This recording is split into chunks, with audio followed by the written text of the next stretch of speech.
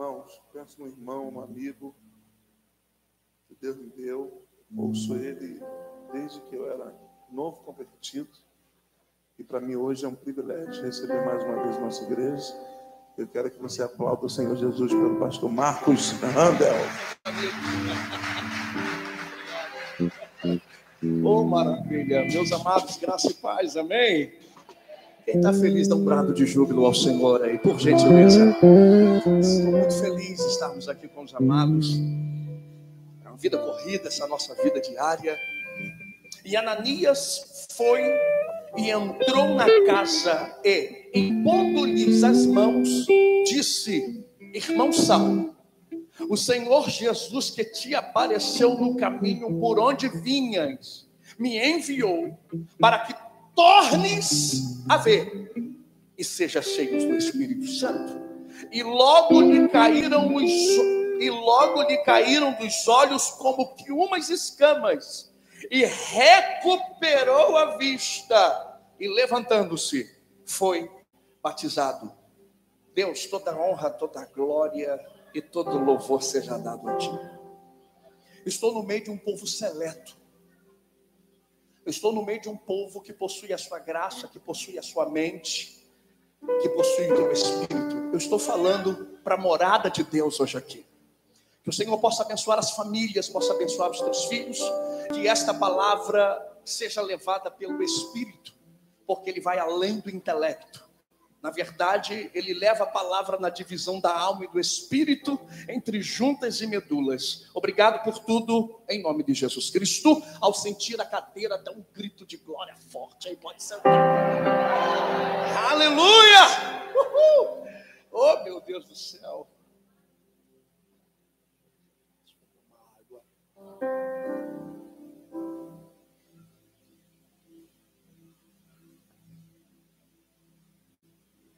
Repita comigo: para haver reforma, eu preciso de parcerias.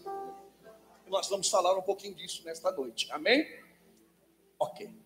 A Bíblia nos fala, queridos irmãos, sobre um dos maiores destaques da igreja primitiva. Foi a conversão de Saulo. É claro que o destaque num nível totalmente superior foi a morte e ressurreição de Jesus Cristo. Mas, ao meu ver, quando Saulo encontra com Jesus no caminho de Damasco, houve uma, uma ruptura, mais uma dela. Por quê, pastor Marcos? Na verdade, a primeira ruptura foi a morte de João Batista. A segunda ruptura foi a morte e ressurreição de Jesus Cristo. Porque João Batista representa a lei, Cristo representa a graça. Saulo aqui era o representante de uma visão profética e apostólica. E houve uma terceira ruptura no mundo espiritual. E nós vamos falar um pouco disso. Para que possamos entender um pouquinho esse tema que foi abordado, é necessário também entender o processo na vida de Saulo de Tarso. Quem era este homem? Um homem que foi criado na maior academia que pudera existir do Velho Testamento, ou do Novo Testamento em si, da Nova Aliança, que era aos pés dos doutores da lei. E na verdade o mesmo fora criado aos pés de Gamaliel. Existiam alguns títulos de doutores. Jesus foi um que foi chamado de alguns títulos diferenciados: Raboni, Rabi, Rabone. Gamaliel era chamado de Rabã, porque o seu nível de doutorado era tão grande que ele estava acima dos doutores, mas não estava acima de Jesus Cristo. Enfim, Saulo foi levado aos seus pés na sua infância. Imagina um menino de mais ou menos 10 anos de idade, entregue a um doutor da lei, e ele aprendeu no nível em que esses doutores, os mestres do sinédrio, aprendiam. Na verdade, Saulo ele estava um pouco evoluído do seu tempo. Ele não entrou na alfabetização, ou no ensino fundamental, ou no ensino médio. Ele já entrou na universidade. Enfim, ele cresce com alguns costumes, ele cresce ali com alguns ensinamentos diferenciados dos outros, porém, ao chegar na sua idade tenra, ou na sua idade jovem, ele começa a ter ensinamentos especiais, ensinamentos esses que o levaram a uma liderança do Sinédrio. Passando de sua idade tenra, na sua idade mais adulta, ele começa a perseguir os cristãos, porque ele entende que essa nova heresia, que essa nova informação chamada evangelho, vinda de um homem que morreu, ressuscitou, que fez milagres, isso na verdade era uma inverdade para Saulo e para os doutores da lei, porque os mesmos assassinaram a Jesus Cristo. Porém, a Bíblia nos fala, escrito pelo próprio apóstolo Paulo, que a morte foi para gerar a vida. Oh, meu Deus do céu. Está aí a grande reforma. Eu acredito que nos dias de hoje, Deus já está cansado de palavra persuasiva. É isso, pastor? É. Deus, na verdade, não quer uma reforma estereótipa. Deus quer uma reforma interna. Na verdade, Ele está começando a lhe convidar a ser mais dado por dentro do que por fora.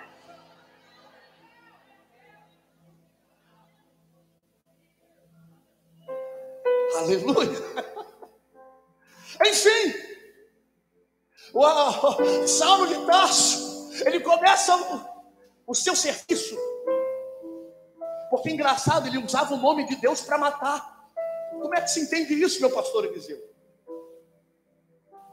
Ele usava o nome de Deus para matar. Agora para, vamos abrir um parêntese. E quantos nós já matamos no nome de Deus? É quando deixamos de liberar o perdão para alguém. É quando deixamos de dar amor a alguém. É quando deixamos de abraçar alguém maltrapilho. É quando deixamos de dar comida para alguém que tem fome.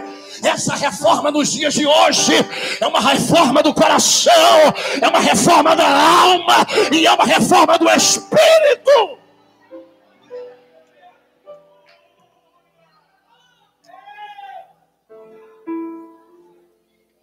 A reforma de Saulo era estereótipa.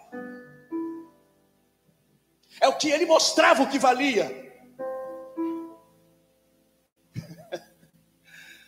ele vê um jovem diácono da igreja, chamado Estevão. E aquele jovem pregava com muita eloquência, tinha um nível de palavra diferenciado. Ele se destacou entre outros. E a Bíblia nos fala que veio uma ordem do sinédrio. A ordem veio de Saulo de Tarso. Manda matar esse cara. Porque ele está transgredindo a lei. Mas que poder que a lei possui a não ser de matar.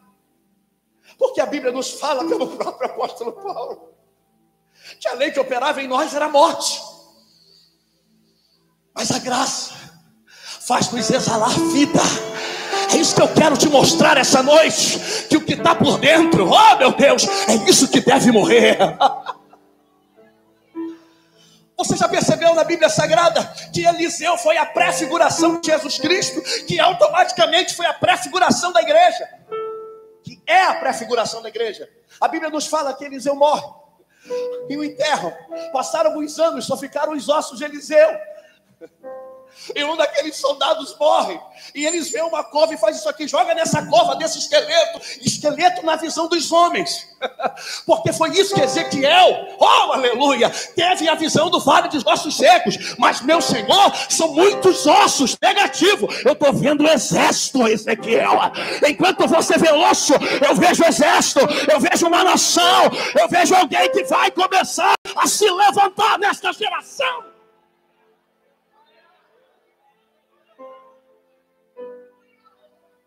Percebe que o milagre não estava de fora da cova, estava dentro da cova. Olha para o seu irmão e diga assim: hoje eu vou morrer mais um pouco. Fala, eu vou morrer para o mundo. Porque quando eu morro para o mundo, aleluia, eu passo a dar vida para alguém do meu lado.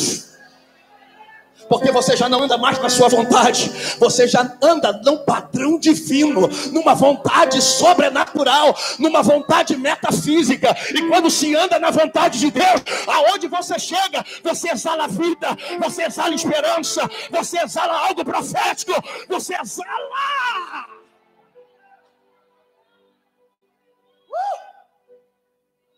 Estou uh! sentindo o papai aqui hoje. Olha o que, que acontece, amados.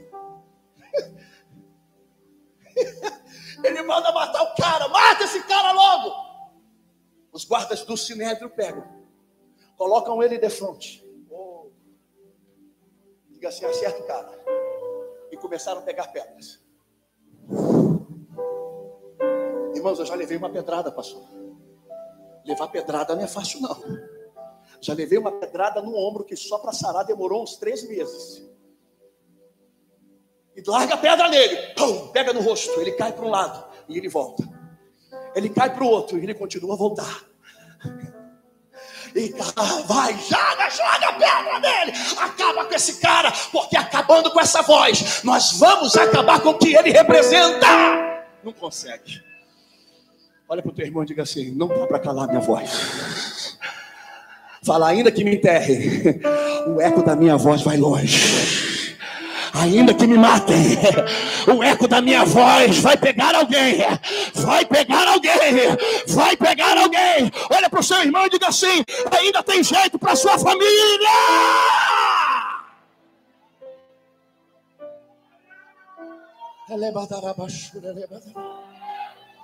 Vem, Saulo, vem! Vai, taca a pedra nele! De repente, ele próximo a perecer ou morrer, ele para e olha para cima. Eis que eu vejo os céus abertos. Saulo olha para ele, esse cara é maluco. Esse cara está morrendo, esse cara está sendo apedrejado. Essa seita tem que acabar. Como é que ele consegue ver céus abertos na pedrada? Eis que eu vejo os céus abertos eu vejo ele. Eu vejo aquele que era, que é e que há de vir. Eu vejo aquele que vai descer entre as nuvens para buscar um povo lavado e remido. Eu vejo ele à destra do seu pai. Eu vejo ele. Olha para o seu irmão e diga assim: quando você morre para este mundo, Prepare-se para ver o trono do Pai. Prepare-se para ver os milagres do Pai. Prepare-se para ver algo acontecendo com os céus abertos. Enfim, levaram a túnica de Estevão na mão dele.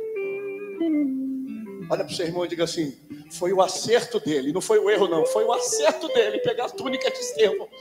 Olha aqui, ó. Toma.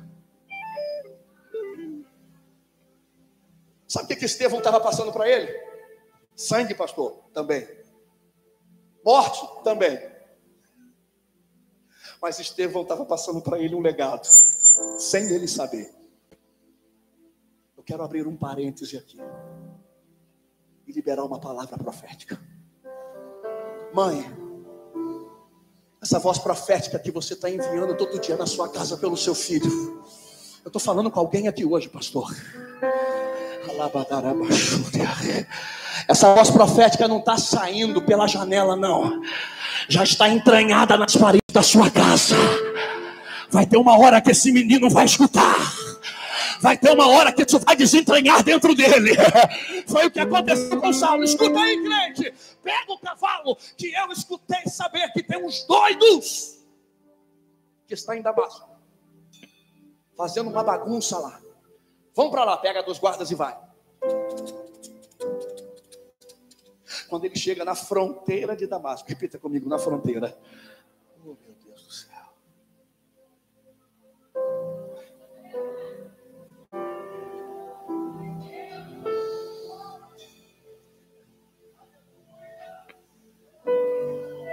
Nesta fronteira da sua vida, do inabitável prepare que Jesus vai habitar nesse negócio aí. De repente aparece um clarão no caminho. Os dois soldados caem. Automaticamente Saulo cai. Olha para o seu irmão e diga assim: é isso aí. Quando se encontra com Jesus, a gente cai do cavalo. Não tem jeito. Porque cavalo significa autoridade. Cavalo significa orgulho. Oh, meu Deus, cavalo significa reino. Tem hora que quando a gente se encontra com Deus, tudo isso cai na nossa vida. Sabe por quê? Porque Ele quer ser o centro da sua vida. Ele quer ser o rei da sua vida. Ele quer ser.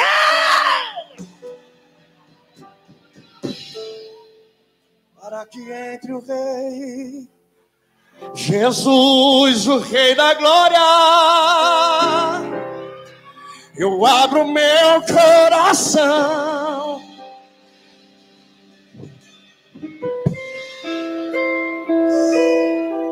Para quem que o rei eu abro.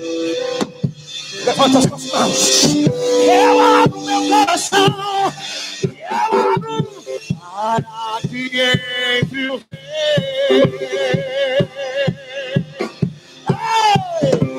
Segura aí.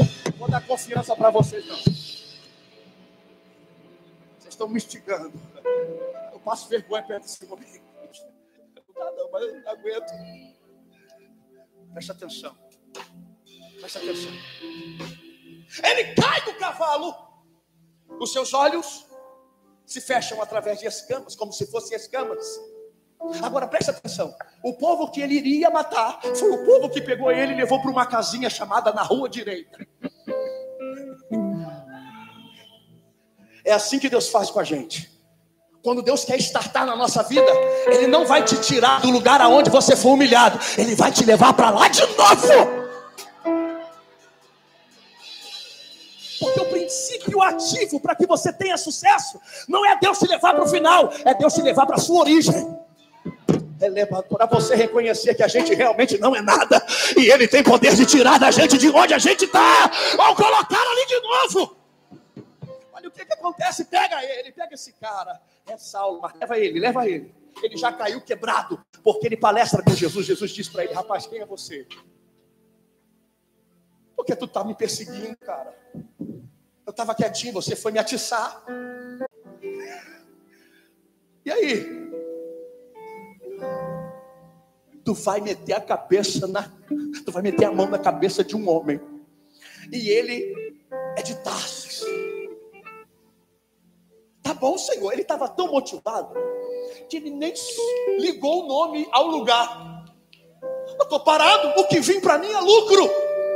Senhor, vamos embora. E aí, tu vai meter a mão na cabeça dele, vai profetizar, ele vai ser curado, ele vai ser batizado com o Espírito Santo, ele é vaso escolhido. Então tá bom. Ele chega no meio do caminho, ele pensa. Geralmente é assim que a gente faz. Quando Deus nos dá um destino, a gente nunca começa a reconhecer o processo. Porque se Deus te revelar o processo, você jamais entra nele. Lembra daquele dia que o vaso de Deus foi usado para você? Meu filho, eu tenho algo contigo muito grande. Ai, Jesus, que eu estou gostando. Eu vou te levar às nações. Ai, ai, ai, ai. ai é mesmo, Jesus? Ah, Senhor, que legal. Tá. Você já viu Deus, Deus revelar processo de alguém? Agora, para se chegar nas nações, você vai ter que sofrer isso daqui. Sabe por que Deus não te revela o processo? Porque você desiste. Sabe onde Deus te revela o processo? Quando você está no miolo dele. Aí você desperta. Foi o que aconteceu com Ananias. Como é que é? De Tarso? É? É Saulo? É? E agora? Vai! Que eu escolhi ele como vaso escolhido. Vai, cara! Ele foi. Chegando lá, ele diz: Irmão Saulo! Eu imagino o Saulo falando: Oi, tudo bem? Estava quebrado, estava com arroz de terceira. Estava igual arroz de gincana. Todo quebrado. Sabe o que aconteceu? Ele mete a mão na cabeça dele e diz assim: Tornes a ver. Olha para o seu irmão e diga assim: Você sabe qual é o princípio de uma reforma? É quando Deus abre primeiro a sua visão e não seus olhos. Visão é diferente de olhar. O olhar, ele te dá um limite. A visão não, você consegue ver além dos limites. Como é que eu vou fazer esse princípio ativo da reforma? É quando Deus começar a abrir a minha visão. Por quê? A visão te dá uma nova ótica de vida. Te dá um foco de vida diferenciado. É isso, pastor? É. Talvez tenha alguém aqui que tem um sonho de Israel.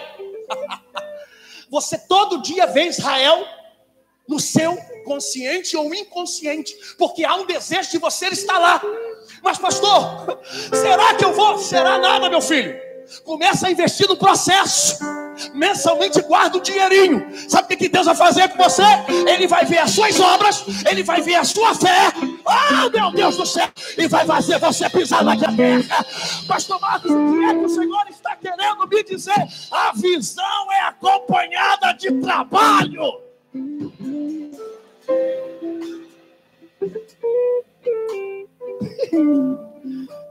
Deus abre a visão de Saulo para lhe mostrar o novo caminho. Repita comigo: de Damasco para as nações.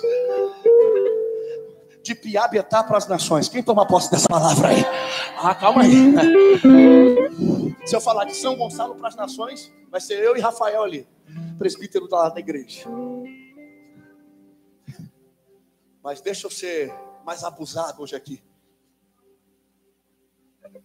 Se tivesse duas pessoas para sair de Piabetá para as nações, suponhamos que eu morasse aqui. A primeira sou eu, quem é a segunda? Não, não, tá fraco aí. Quem é a segunda? Levanta suas mãos. Eu quero ser um profeta de Deus na sua vida.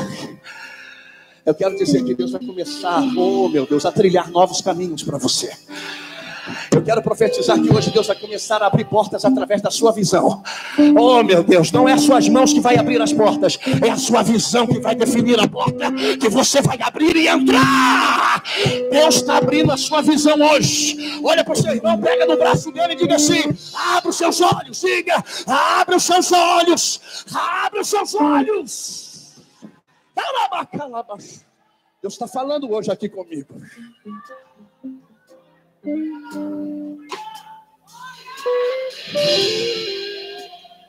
A visão dele foi aberta para Deus lhe dar um propósito, ou melhor, revigorar o seu propósito, porque não há novo propósito, há um propósito. Às vezes ficamos tão frustrados com a caminhada de nossa vida. Eu sou representante de uma firma. E o meu produto é difícil. Porque primeiro você precisa vender o conceito, depois você precisa vender o equipamento. É difícil demais. A estatística da nossa empresa que diz: se você bater em 80 portas, 79 é não, um é sim. Isso é uma estatística. Agora pensa no cara que todo dia bate, PAP, porta a porta, e, e escuta assim: não, não, não, não. Não, ainda está em cinco, né? Não, não, não, não, não. E vamos embora. Não, não, não. Já estou vendo gente frustrada aqui.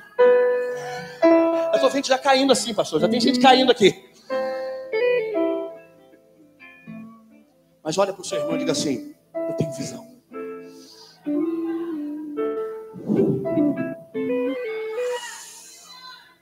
Olha para o seu irmão e diga assim: o não será. Fala, o não será como combustível. Cada não que eu recebo, eu preciso me aperfeiçoar mais. Cada não que eu recebo, eu preciso crescer mais. Cada não que eu recebo, eu preciso ter uma maior visão. Cada não que eu recebo, eu preciso me preparar. Aleluia!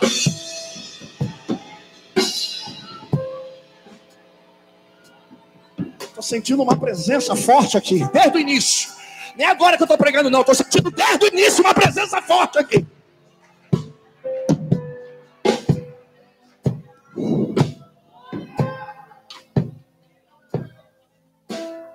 Não está acostumado a receber não na minha vida para você se refinar. Olha para o teu irmão e diga assim: a gente só se refina quando todos os recursos acabam.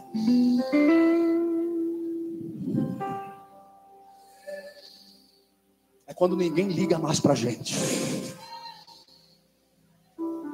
Os recursos se findam. vou falar algo para você aqui muito forte. Ah, pastor, estou numa fila de promessa há tanto tempo. Olha para o teu irmão e diga assim: sai da fila. Efésios 1,3 diz que a promessa já está dentro da gente. Olha, já, já desmistificou alguma situação aqui. Olha para o teu irmão e diga assim: sai da fila da promessa. Ou ele já te deu essa promessa. Efésios 1,3 diz que a promessa já está dentro de você. Ai, você não entendeu, senão você jogava uma cadeira dessa para cima. A promessa já está dentro de você, cara. Já está aqui dentro, já está aqui dentro.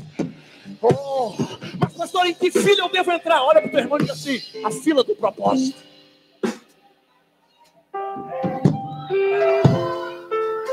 Sabe por que essa igreja chegou do que está?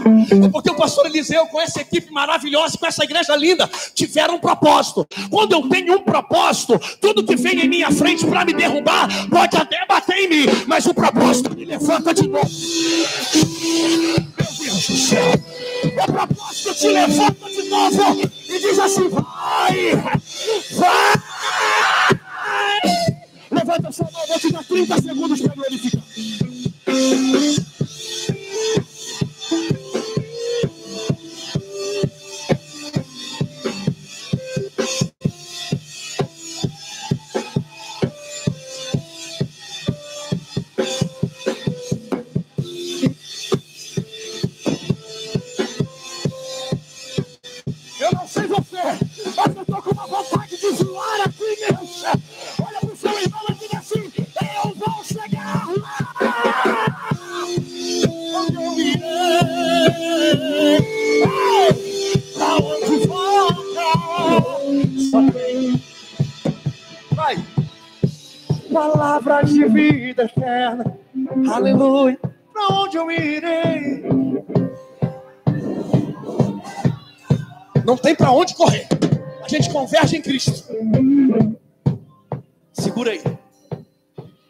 Acabando, tá?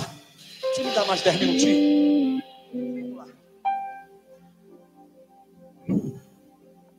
A última vez que eu vim aqui, eu tinha falado de uma experiência que eu tinha passado o ministério para salvar minha casa. Lembra, pastor? Passaram 16 meses. Alguns irmãos lembram aqui. Era pastor de um ministério. Eu vi uma família sendo dilacerada, a minha. Da ponto da minha família fazer um tratamento psicológico.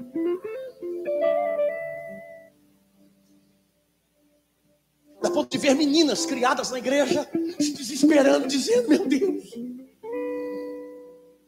com muito choro, eu disse assim: A noiva do cordeiro já tem noivo.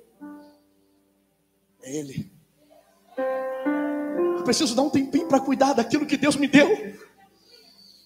Passei a gestão da igreja e disse para o Senhor: Nunca mais eu volto para pastorear a igreja. Passaram 16 meses, de setembro para cá. Desses 16 meses, Deus me botou numa boa empresa me botou num, num ministério maravilhoso. Eu fui cuidado. Sabe o que isso se chama? Casa chamada direita. É ali que Deus quer nos tratar.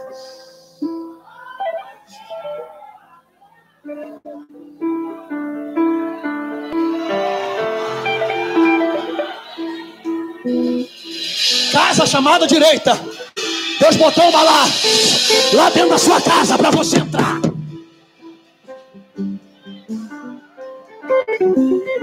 Eu fui tratado 16 meses. Setembro para cá. Eu trabalho com sistema de alarme. Aquele ali que está ali, pendurado ali. Eu trabalho naquela empresa. E eu fui visitar uma pastora que tinha duas igrejas. Eu falei, duas igrejas? É dois equipamentos. Eu vou arrebentar lá. E eu sou teatral na venda, irmãos. Faço barulho. Faço sinal da polícia chegando. Teve uma vez que eu entrei numa empresa, botei uma camisa aqui, subi em cima de uma opção de ração e falei, eu sou ladrão. Falei, mas esse cara é maluco. Os garotos falando comigo, falei, mas você vai comprar. Duvido que não. Eu sou teatral. Muito obrigado, Jesus. A igreja me ensinou muita coisa.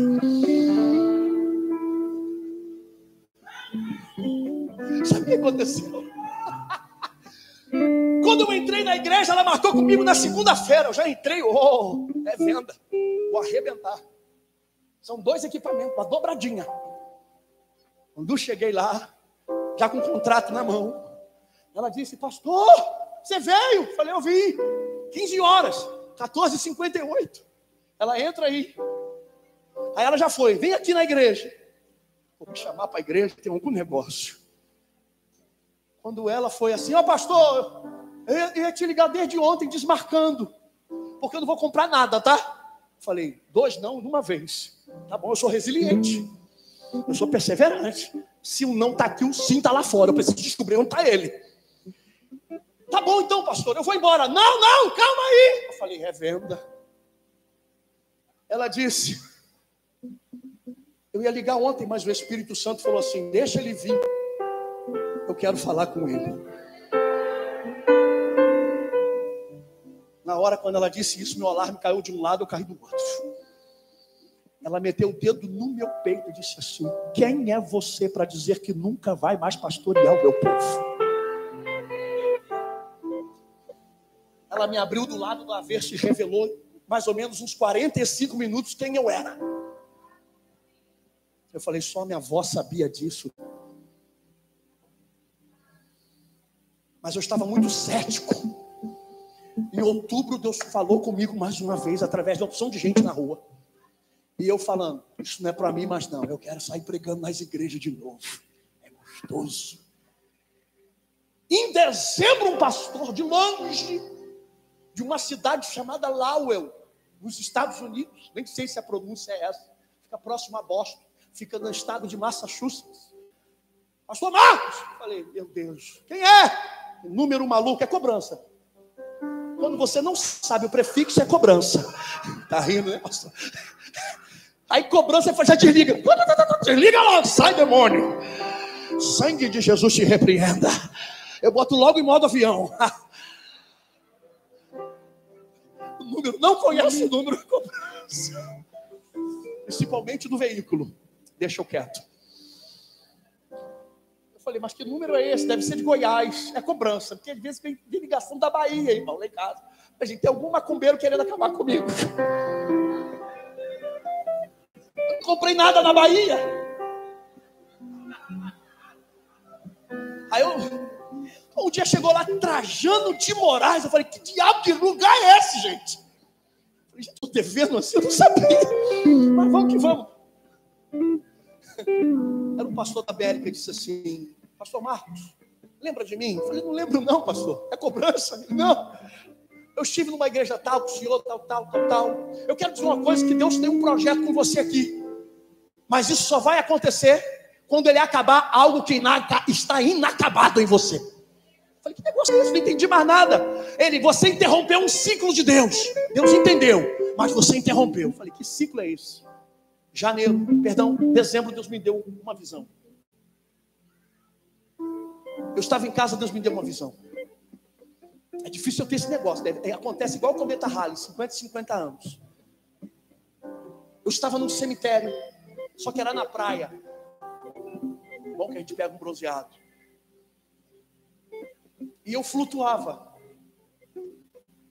E o corpo estava respirando por um canudo de cana. Eu falei, se eu estou flutuando, quem está ali sou eu, que eu sou fantasminha camarada, pô. Se eu estou flutuando, morri. É morte espiritual. Chamei minha esposa, chamei o pastor que estava nos abençoando, meu amigo, pastor Márcio. Disse, Marcos, você morreu. Eu falei, que morreu, pastor? Estou falando língua estranha até pelo cotovelo. Eu estou no óleo, pastor. É o dia todo louvor e palavra lá em casa. Depois que eu descobri essa tal de TV Smart, eu não quero saber de outra vida, não. Eu assisto até os cultos aqui. Agora presta atenção. O pastor fez uma semana de primícias. 2 de janeiro. No dia primeiro eu preguei. Eu falei, é pastor, o senhor é estratégico. E primeiro não vai ninguém, me colocou. Eu gosto desse negócio. Fazer o quê? É uma ação contrária. Agora presta atenção. No dia dois, eu passando roupa, minha esposa fazendo cabelo, dando uma focinha a ela. Tem homem que passa roupa aí, diga glória a Deus. São poucos. Passa roupa, eu passo roupa lá em casa. Eu gosto de passar roupa. Eu gosto de passar tanto roupa que nem minha mulher passa minha roupa mais. Quando ela passa, eu falo, tá ruim demais. Sabe passar roupa, não, cheio de vivo, gente. E ó, eu escutando uma mensagem, de repente, irmãos, o ferro cai da minha mão. Pô, eu perco as forças das pernas, caio de joelho. O peso da glória de Deus desce na minha sala. Eu comecei a chorar do nada. A lágrima descia, a lágrima descia. Minha esposa começou a me ouvir, ela, Marquinhos está chorando de novo, eu sou muito emotivo. Eu comecei a chorar, ah, meu Deus! E ela, quando sai do quarto, ela sai do quarto em pé, quando entra na sala, ela cai de joelho. E começa a chorar junto comigo. Ela não estou entendendo nada. Eu falei, eu estou entendendo. É o peso da glória que chegou aqui. Alguma coisa Deus vai fazer. Porque quando Deus manda a glória dele, ele sempre faz alguma coisa. Porque no ambiente de glória você não precisa fazer nada. O próprio Deus faz tudo por você. Tudo, tudo, tudo, tudo. E olha o que, que acontece. Quando ela cai do meu lado, eu disse para ela: Deus falou comigo. O que, que ele falou? Que aquele corpo morto que estava ali foi a igreja que eu deixei. E ele disse assim: Volta! Fui falar com o meu pastor. Pastor, eu quero que o senhor diga não. Ele, não de quê? Fala não, hein? Pastor, aconteceu isso, isso, isso, isso. Meu pastor se arrepia de alto a baixo. A esposa dele chegou a me pagar um jantar aquele dia. Disse assim, pastor Marcos, eu não tenho dúvida que foi Deus. Há duas semanas atrás nós assumimos a nova a igreja. Só que eu assumi com uma visão diferenciada. Eu assumi sem dores. Sabe por quê, irmãos? Existe um período que Deus vai ter que te levar para casa chamada direita. Sabe por quê? Deus sempre vai enviar pessoas que você pensa que não tem nenhum efeito na sua fala, mas Deus vai enviar essas pessoas é para confundir você mesmo, porque Deus sempre anda na contramão da lógica, Deus sempre anda na contramão da visualização humana. Se você está pensando que Ele vai te enviar um príncipe para poder falar com você, se prepara, Ele vai enviar um sapo, porque Deus, Ele é Deus de coisas loucas. Yeah! Só quem toma posse, levanta suas mãos.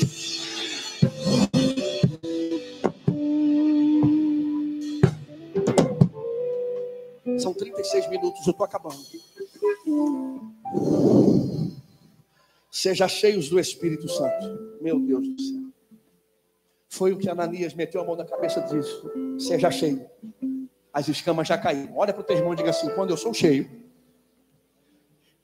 tudo que é. Ai, tá fraco. Tudo que é. Fala, tudo que é ruim para minha visão, Deus vai tirar. Fala, quando eu sou cheio, tudo que é ruim para minha vida, Deus vai tirar.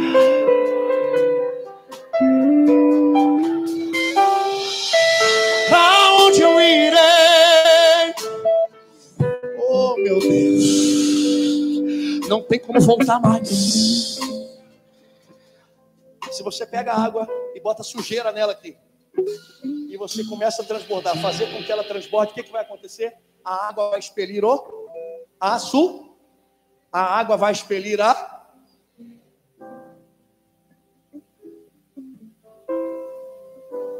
Quando que eu passo a ser cheio do Espírito, pastor Marcos? É quando eu entendo o valor do discipulado. O que é discipulado? Discípulo amado. Porque na medida que você discipula alguém, você tira o que é teu e dá para ele.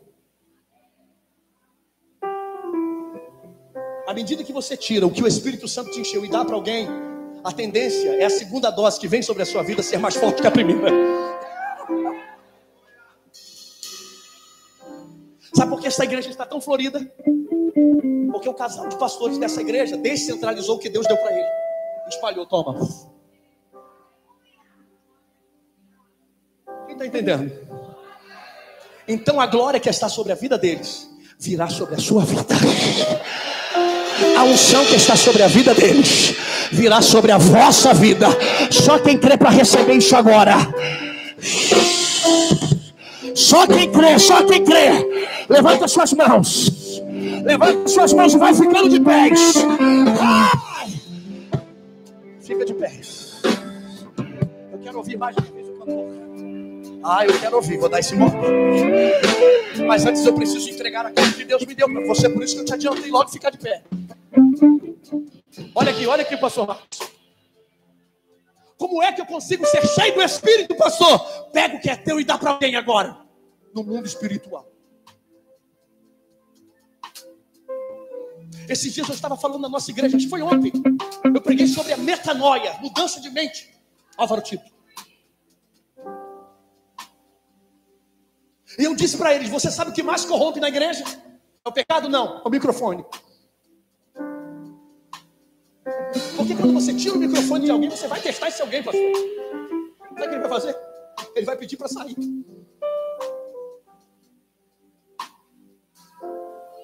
Olha para o seu irmão e diga assim: quando eu discipulo alguém, eu entendi o serviço que Deus preparou para mim. E olha para o teu irmão e diga assim: quando vier o microfone, eu já estou tratado.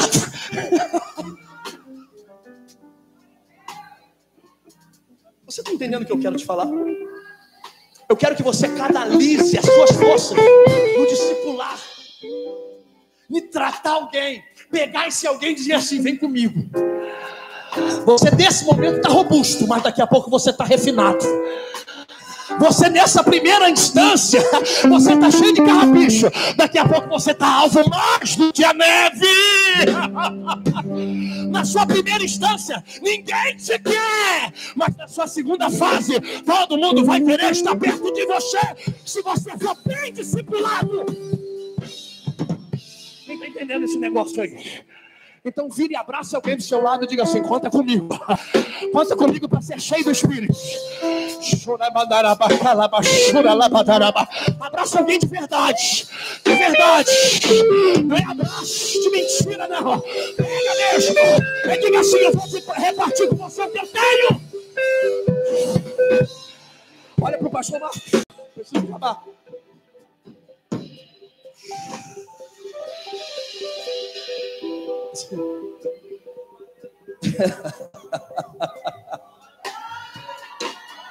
Quando eu sou cheio do Espírito,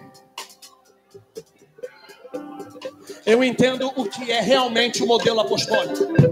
O que é isso, pastor Marcos? Há quem diga aí fora que, apostol... que apostolado é cobertura. Não, apostolado é fundamento. Olha para o seu irmão e diga assim: Eu sou um apóstolo de Jesus Cristo. Fala para o seu irmão: Eu sou um apóstolo, eu sou um apóstolo lá. Que isso, pastor? É. Sabe por que você é? Porque eu duvido se você não foi fundamento na vida de alguém.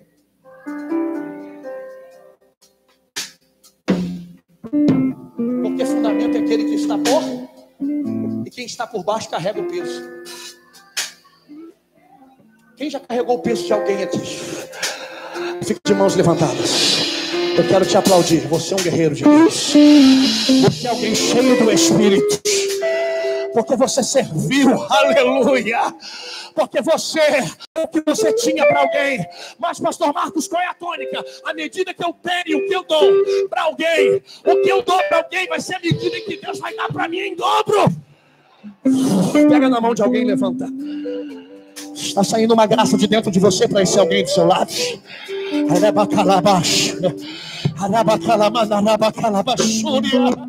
Está saindo uma graça diferenciada de você para alguém.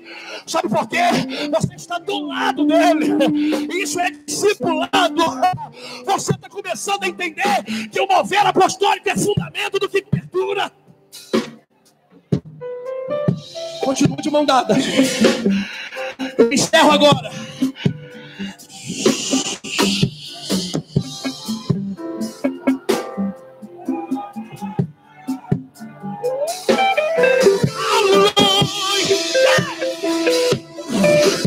Eu sinto a presença. Ai, meu Deus.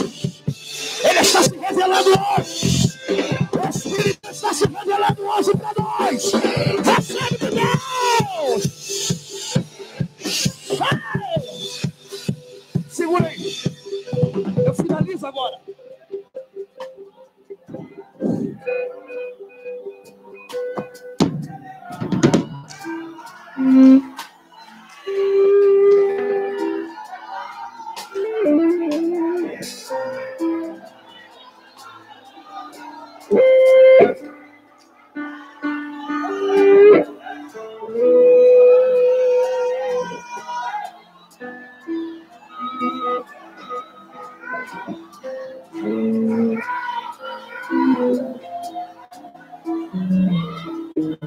fazendo algo diferenciado hoje aqui. Só para quem vai ser cheio agora. Só melhor, você já está cheio. Num culto desse você já foi cheio, já. Depois daqueles louvores lindos do coral. Meu Deus do céu, agora deixa transportar, vai. Deixa transportar agora. Deixa transportar.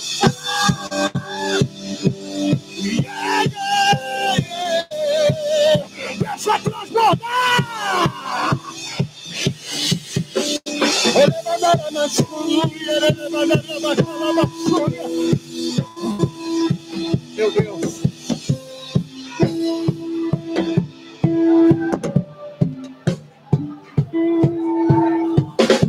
Segura aí. Já falei que vou finalizar umas quatro vezes. Agora é de verdade. As outras vezes não foi mentira, não. Só omiti a verdade. Quando eu sou cheio do Espírito, quando eu entendo que a perseguição é o agente motivador para que eu multiplique. Você entendeu?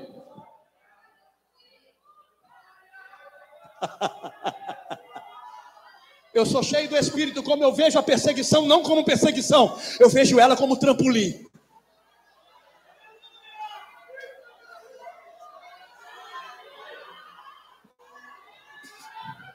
Pastor Marcos, eu estou em busca da minha promessa há muitos anos. Ei, escreve no coração e no vernáculo mental. Quando a adversidade colide com o propósito,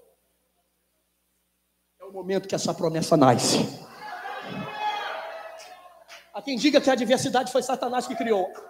A maioria das adversidades é Deus que cria. Porque ele precisa despertar em você o leão que está aí dentro.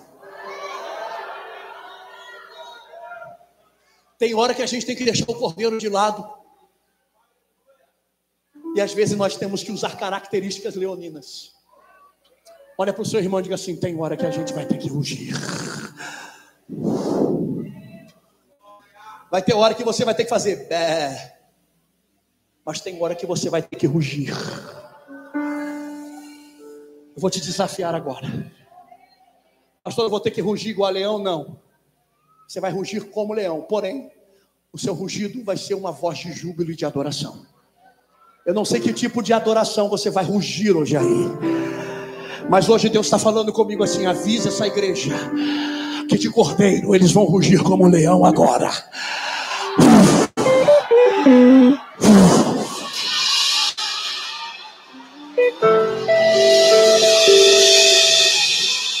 Levanta suas mãos. Ruge. Ruge. Ruge. Ruge. Libera. Libera esse leão.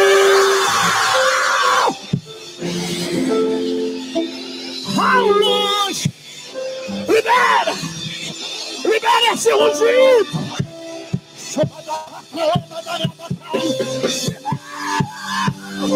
Abraça alguém